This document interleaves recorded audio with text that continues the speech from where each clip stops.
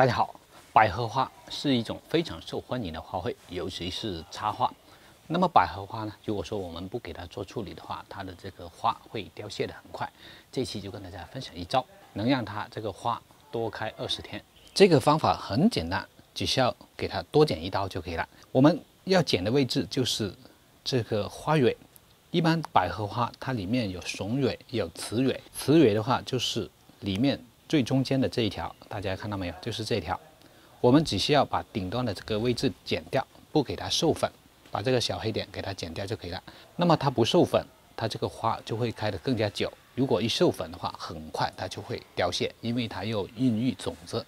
当然了，修剪完成之后，我们还是要给它多补充一些高磷钾肥，比如说像这种水溶肥磷酸二氢钾，按照一比一千的比例兑水给它浇灌，每次。土壤干透了，我们都可以给它用上。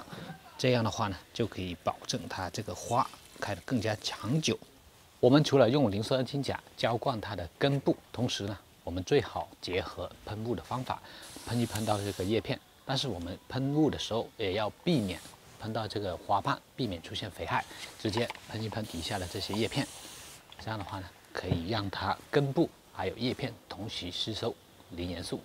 这样的话呢，这个花开更加长久。好了，这期就跟大家分享到这里，我们下期再见。